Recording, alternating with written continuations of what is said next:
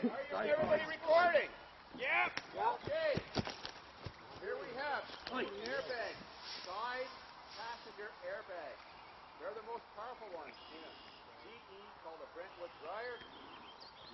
Let's see what's going to happen. Going to hide behind this car.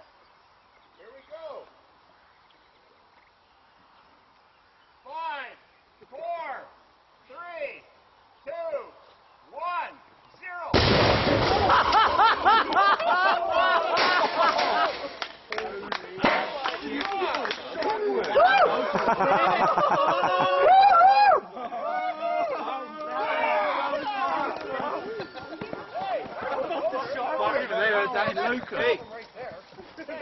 did you just it?